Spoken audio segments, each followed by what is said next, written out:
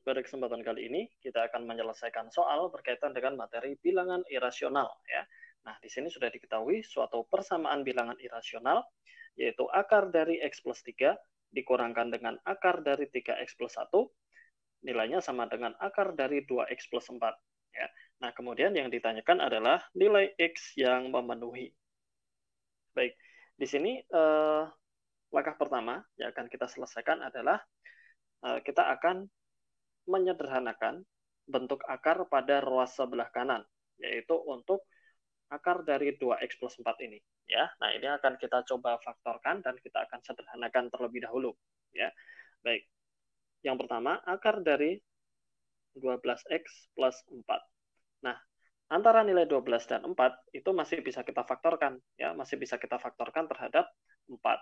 Sehingga di sini kita dapat menuliskannya menjadi 4 dikalikan dengan 3x plus 1 seperti ini ya.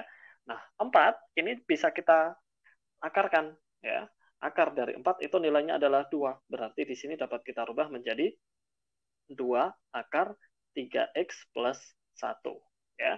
Nah, ini untuk yang ruas sebelah kanan sudah bisa kita sederhanakan seperti ini. Sehingga untuk persamaan bilang rasional dapat kita tuliskan menjadi akar dari x plus 3 dikurangkan dengan akar dari 3x plus 1, nilainya sama dengan untuk akar 12 akar dari 12x plus 4 ini dapat kita rubah menjadi 2 akar dari 3x plus 1 seperti ini ya. Nah, kemudian kita perhatikan di sini terdapat angka yang di dalam akarnya itu sama, yaitu 3x plus 1 ya yaitu untuk akar 3x plus 1 dan akar 3x plus 1. Nah, ini kita akan, uh, untuk min akar 3x plus 1 ini, akan kita pindahkan ruas ke sebelah kanan, supaya bisa kita operasikan. ya.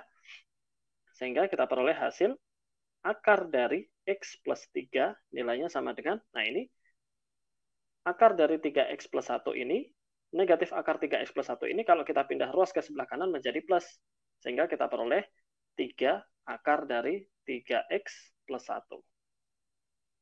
3x plus 1 seperti ini ya.